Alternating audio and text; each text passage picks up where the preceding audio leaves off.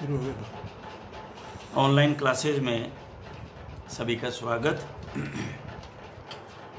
First year A H D P animal management में आज हम पढ़ेंगे गाय का ड्यूरिंग एंड आफ्टर पार्चुरेशन, उसका मैनेजमेंट एंड केयर। बच्चा देते समय, यानी ब्याते समय और उसके तत्पश्चात गाय की देखभाल कैसे करेंगे? इसके बारे में आज हम चर्चा करेंगे। तो ये तो हमें पहले पता ही है कि ऐसी गाय को, जब वो को गाय ब्याने वाली है तो पाँच से सात दिन पहले हम उसको काविंग बॉक्स में ले जाते हैं, छोड़ देते हैं काविंग बॉक्स के अंदर। अकेली वहाँ है। वेरी इंपॉर्टेंट है, ये ज़रूरी है। और उस कक्ष को, उसमें गाय को छोड़ने से पहले उसको डिसइंफेक्शन डिसइंफेक्टेंट से पूरा का पूरा उसको जीवाणु रहित डिसइनफेक्शन कर लें उसको डिसइंफेक्शन प्रसव कक्ष को जीवाणु रहित करना डिसइंफेक्शन ऑफ़ काविंग बॉक्स इसके कारण ये हैं, निम्न कारणों के लिए करना आवश्यक है। स्वयं मादा पशु किसी रोग से, जैसे mastitis metritis retention of retention of placenta ये रुकना, आदि से रोगग्रस्त नहीं हो जावे। क्योंकि वो गाय, बहनी वहीं बैठेगी ब्याने वाली है। तो अगर वहाँ पे, अगर उसको नहीं किया, वहाँ छिड़काव उसका डिसइनफेक्टेंट का तो वो जो थन नीचे लगेंगे तो वहाँ से जो है इन्फेक्शन उसके थनों का जो मुँह है स्पिंक्टर है, उसके थ्रू अंदर जा सकता है। मेस्टाइटिस कॉज कर सकता है। मेट्राइटिस हो सकती है रिटेंशन ऑफ़ प्लेसेंटा नवज नवजात बच्चा भी किसी प्रकार के रोग जैसे नेवलिल निमोनिया आदि से रोगग्रस्त हो सकता है। नेवलिल नाभि का रोग नेवलिल। नेवलिल में क्या क्या है? सोजन हो जाएगी उसकी नाभि की। अगर अच्छी तरह उसका कटिंग सही नहीं की आपने उसका अ, जो माँ का जोड़ है, माँ से जुड़ाव आया बच्चे का बाहर अम्बलाइकल कोड इसको अगर आपने अच्छी तरह से नहीं काटा, उस पर डिसइनफेक्टेंट या एंटीसेप्टिक नहीं लगाया, अगर वहाँ जीवाणु कीटाणु हैं तो थोड़े से में प्रॉब्लम क्रिएट कर सकते हैं। मच्छर, मक्खियों आदि के काटने से या मक्खी के बैठने से और उसके अंडे देने से मैगट वुंड हो सकता है, जहाँ से आप इसको काटोगे। नेवल को, किसी प्रकार के रोग जैसे मच्छर मक्खियों आदि के काटने से पशु बचा रहे, अन्यथा उसके मैगट, वुंड, मलेरिया, थाइलेरिया आदि रोग नहीं हो सके। पशु तनाव मुक्त रखने के लिए व अच्छे उत्पादन के लिए प्रजनन संबंधी बीमारियों से मुक्ति के लिए भी आवश्यक है। इसको जीवाणु रहित करने के तरीके, प्रसव कक्ष की मरम्मत, समय समय पर करवाते रहना चाहिए ताकि अगर उसके अंदर क्रैकिंग्स आ जाती है ना फर्श में या दीवारों में तो वहाँ क्या होता है? चीचड़ और मच्छर अपना आवास बना लेते हैं, आश्रय बना लेते हैं। अगर आपने उसकी मरम्मत करवा ली या उस पर कुछ छिड़काव इस तरह से किया आपने तो ये वहाँ अपना आवास नहीं बना पाएँगे। प्रसव कक्ष में समय समय पर वाइट वॉश करवाते रहना चाहिए। प्रसव कक्ष में हवा के आवागमन, वेंटिलेशन की सुनिश्चित व्यवस्था के लिए दिशा के अनुरूप खिड़कियाँ, रोशनदान व दरवाजे आदि बने हों तथा मच्छरों से मुक्ति वाली जाली लगी हो। प्रसव कक्ष में प्रकाश, सूर्य की सीधी रोशनी में बिजली की समुचित व्यवस्था हो। प्रसव कक्ष में अच्छी क्वालिटी की कोमल बिछावन, बिछावे अथवा बिछावे अथवा प्रतिदिन उसे बदलें ताकि संक्रमण नहीं फैले। यदि पशु के गर्भपात हुआ है तो बिछावन को जला दें। यस वेरी इंपॉर्टेंट प्रसव कक्ष में पशु स्थानांतरित करने से पूर्व उसमें डीडीटी बीएससी आदि पाउडर के घोल का ताज़ा छिड़काव कर दें। फर्श, फिनाइल आदि से धोकर, सुखाकर बिछावन बिछा दें। प्रसव कक्ष की नांद, मेंजर, पानी के बर्तन अथवा खेली आदि को समय समय पर साफ़ करें। तथा हमेशा स्वच्छ ताज़ा पानी पशुओं को उपलब्ध करावें प्रसव कक्ष में जब तक पशु रहे, तब तक नियमित दिन में दो तीन बार गोबर आदि को उठावें। प्रसव के बाद तुरंत बिछावन बदल दें। प्रसव कक्ष की दीवारें साफ़ व चिकनी हों तथा उनकी नियमित सफ़ाई सफ़ाई जो है वो होनी चाहिए। अब है साइन ऑफ़ अप्रोचिंग पार्चुरेशन प्रसव के लक्षण की गाय ब्याने वाली है।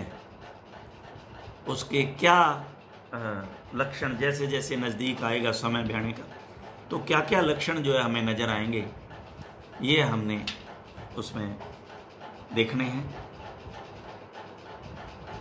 इसमें गर्भित पशु ब्याने की परसों पीड़ा शुरू होते ही पशु झुंड को छोड़ देता है, तथा एकांत आइसोलेशन में रहना पसंद करता है।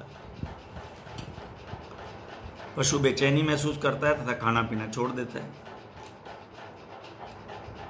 पशु के आयन, आकार, अडर का आकार बढ़ जाता है और थन खड़े व तन जाते हैं।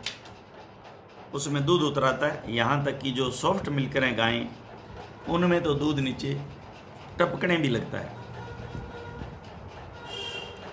पशु के ब्याने के एक दिन पूर्व पैल्विक लिगामेंट आपने पढ़ा है, पैल्विक कैविटी पढ़ा है, पेक्टोरल गर्डल पढ़ा है तो अगर इनमें से आपके कुछ भी याद है तो पैल्विक लिगामेंट, जहाँ पे ग्लूटियल मसल हैं, जहाँ पे टीका लगाते हैं, पीछे, वहाँ जो लिगामेंट है पैल्विक, वो ढीले हो जाते हैं, जिनको अपने पुड़े तोड़ना भी कहते हैं। जाते हैं, पूंछ के दोनों तरफ़ टेंडन लिगामेंट व मांसपेशियाँ ढीली हो जाती हैं। यही वो जगह है। इसमें टेंडन और लिगामेंट ये ढीले हो जाएँगे, जिससे पूंछ के आधार के दोनों तरफ़ गड्ढे पड़ जाते हैं, तथा पूंछ उभरी हुई दिखाई देती है। वल्वा फूल कर आकार में बड़ी हो जाती है। Vulva becomes flabby and and large ज्यो ज्यो प्रसव का समय नज़दीक आता है पशु बार बार मूत्र मूत्र त्याग करता है। उठना, बैठना, पेट दर्द की भांति लात मारना शुरू कर देता है, पीठ को लंबी करता है, आदि लक्षण प्रदर्शित है। अब ये बार बार मूत्र क्यों करता है? क्योंकि हमने पीछे हार्मोन में पढ़ा, एक तो ऑक्सीटोसिन रिलीज़ होगा इस समय क्योंकि सर्विक्स को लेगी। यूट्रस में कंट्रैक्शन होंगे। तो ये दोनों ही काम करेगा oxytocin contraction of the uterus contraction of the urinary bladder ये हमने पढ़ा है पीछे। ये पूछा जाएगा, ध्यान रखना। इम्पोर्टेंट है ये। क्योंकि ज्यो ज्यो प्रसव नज़दीक आता है, पशु बार बार मूत्र क्यों करता है? या दूध जब उतारता है, पशु तो मूत्र क्यों करता है? तो सिर्फ़ ये ड्यू टू ऑक्सीटोसिन हार्मोन का है। और ये जब ये उठना बैठना पेट दर्द की भांति लात मारता है, ये जब सर्विक्स खुलती है इनर एंड आउटर ओपनिंग उसकी तो यहाँ हल्का सा दर्द महसूस होता है उसको, खुलती है जब। तो ये ये जिसको लेबर पैन भी बोलते हैं तो जब दर्द होता है तो वो लिटता, बैठता है, लात मारता है। अगर वो सर्विक्स खुल गई है गाढ़ा म्यूकस वलवा से बाहर गिरने लग जाता है, गाढ़ा म्यूकस, जिसे सर्वाइकल सील का पिघलना भी कहते हैं, जो सर्विक्स है उसकी सील, यानी कि खुलनी शुरू हो गई है। पशु खड़ा या बैठकर ज़ोर लगाता है, तथा प्रथम पानी का थैला फ़र्स्ट वाटर बैग दिखाई देने लग जाता है फ़र्स्ट और second water bag first water bag में क्या होता है? वेस्टेज ऑफ़ द फिटस और सेकंड में फिटस होता है। तो ये पहला ब्लू कलर का ब्लूश ब्राउन कलर का थैला ये नज़र आएगा। दिखाई देने लग जाता है। प्रसव के दौरान और प्रसव के पश्चात गाय की देखभाल करना। ये प्रसव के दौरान और प्रसव के पश्चात गाय की क्या आप, हम जो है देखभाल करेंगे, ये है care of management of cow during and after parturition ब्यातीस में पशु की देखभाल। ये अभी हमने जो पढ़े, वो है लक्षण sign of approach to parturition अब देखभाल। ब्यातीस में पशु की देखभाल में प्रसव कक्ष के अथवा जहाँ पशु प्रसव कर रहा है, वहाँ का वातावरण एकदम शांत होना चाहिए। प्रसव क्रिया के दौरान आप स्वयं प्रसव क्रिया को जल्दी करने हेतु बाह्य सहायता तब तक नहीं दें जब तक आवश्यकता नहीं हो। बाह्य सहायता जब भी ही करें जब बच्चे के दोनों पैर बाहर आ जाएँ तथा मुँह घुटने संधि नी ज्वाइंट पर दिखाई दें। अन्यथा बच्चे की गर्दन मुड़ जाने के कारण कष्ट प्रस्तुति हो सकती है डिस्टोकिया हो सकता है। आपने स्वयं डिस्टोकिया पैदा कर दिया। आपने क्या किया? नी ज्वाइंट पे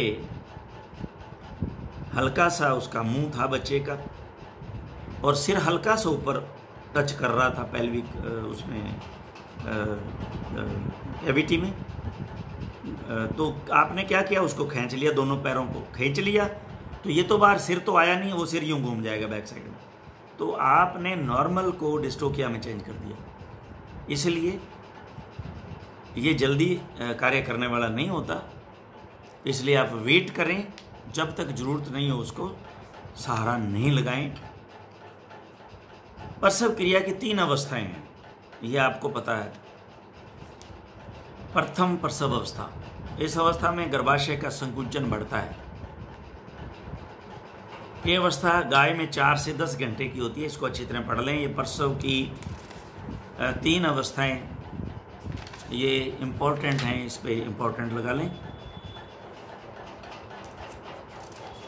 ये अवस्था गाय में चार से दस घंटे की है। इस अवस्था में निरंतर गर्भाशय के संकुचन के बीच का समय घटता है तथा संकुचन कंट्रक्शन जो है वो स्ट्रांग होता है ताकि बच्चा बाहर धकेला जा सके। इसे लेबर पेन भी अभी हमने ऊपर, अभी मैंने बताया आपको लेबर पेन भी कहते हैं। अंत में इस अवस्था में प्रथम वाटर बैग बाहर आ जाता है। यह अवस्था, यह स्वतः ही स्वतः ही फूट जाता है। ये पहली अवस्था। पहली अवस्था हमारे पास चार से पहली अवस्था जो है चार से दस घंटे, द्वितीय अवस्था। इस, इसके बाद पशु एक जोरदार यूटराइन कंट्रक्शन करता है, तथा दूसरा पानी का थैला बाहर आता है, जिसमें बच्चे के अगले पैर तथा सिर दिखाई देता है। इस समय एक तीव्र कठोर गर्भाशय का दूसरा संकुचन होता है, जिससे बच्चा बाहर आ जाता है। संकुचन या कंट्रक्शन होता है, ज़ोर अंदर, बच्चे को निकालने के लिए। यह द्वितीय अवस्था आधे घंटे से दो घंटे तक की हो सकती है। इसमें यदि पशु के प्रसव प्रथम प्रसव है तो आप बाह्य सहायता कर बच्चे को खींच कर बाहर निकाल सकते हैं। प्रसव की तीसरी अवस्था। यह अवस्था प्रसव के बाद जेर पेलेसेंटा गिरने की है, जो चार से आठ घंटे तक हो सकती है।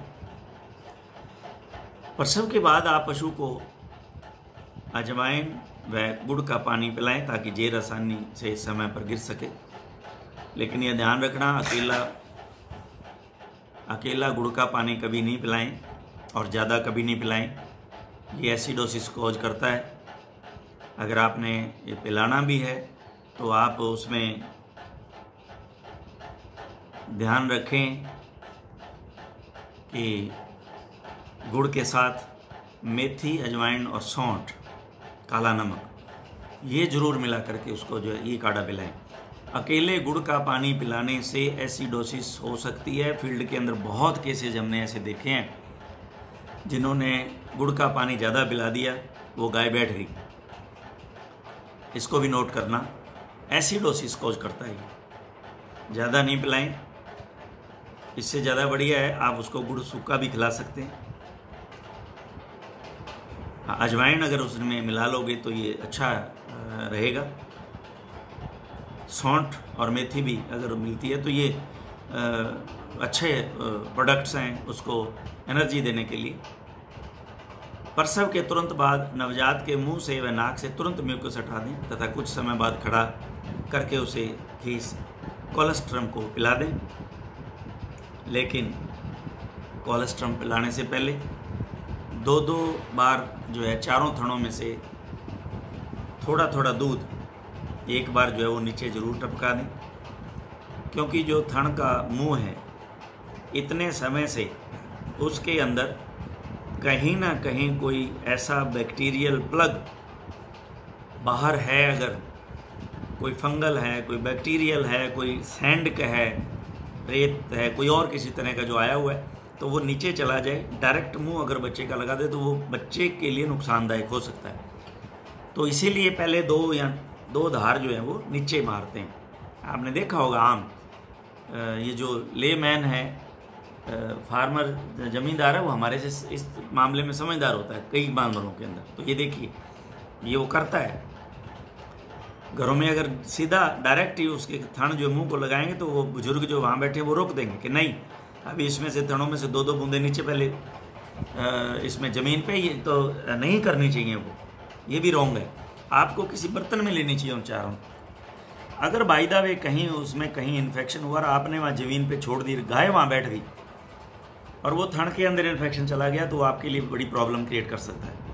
तो ये बड़ी इंपॉर्टेंट बात है। कोलेस्ट्रम को पिला दें। इसमें, इससे भी जेर जल्दी गिर जाएगी।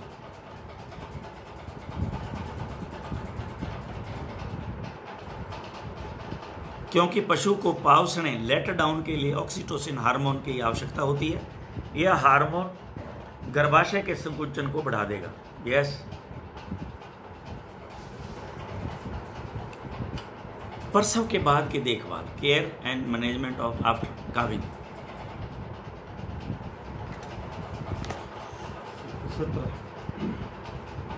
गाय के पिछले पैर योनि पूंछ, मल द्वार आदि को हल्के गर्म पानी से, जिसमें एक परसेंट लाल दवा अथवा अन्य कोई एंटीसेप्टिक पदार्थ डाली उसे धो दें तथा साफ़ करके पहुँच दें। साफ़ कपड़े से। मादा पशु को नवजात बच्चे को चाटने दें। ब्याने के तुरंत बाद पशु को गुनगुने पानी में गुड़ व अजवाइन का घोल बनाकर पिला दें गर्म पानी में। हो सके तो इसको वैसे ही बॉयल कर लें, उबाल लें। पशु के थनों को धोकर उन्हें पाँच छः धार बाहर निकाल कर यह प्रथम दूध कोलेस्ट्रॉल बच्चे को पिला दें। अब ये देखिए, यहाँ बताया, ऊपर नहीं बताया। ये सही है। मादा का पूर्ण दूध ना तो बच्चे को पिलावे, न ही अडर को खाली करे। अन्यथा बच्चे के दस्त व न पुरुषता मादा को मिल्क फीवर हो सकता है। प्रसव कक्ष के बिछावन को हटा दें तथा नई बिछावन बिछाएँ। ब्याने के चार पाँच घंटे बाद पशु को निम्न गोल ऊर्जा पिलाएँ, ये अच्छा दिया इन्होंने। 500 ग्राम गुड़ 100 ग्राम मेथी 100 ग्राम अजवाइन 50 ग्राम सौंठ और 100 ग्राम काला नमक। इसको उबाल कर ठंडा करके पशु को पिला दें।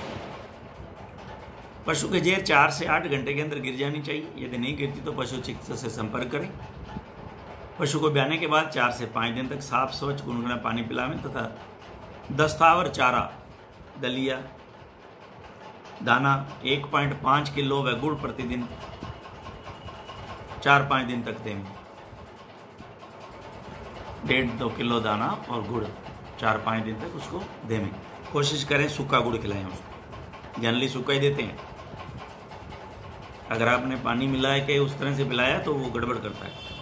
थोड़ा दें ज़्यादा नहीं खिलाएँ उसको। दाने की मात्रा धीरे धीरे बढ़ावें तथा संतुलित आहार पशु को देवें प्रसव वाली मादा का गर्भाशय 30 से 45 दिन में सामान्य अवस्था में आ जाना चाहिए।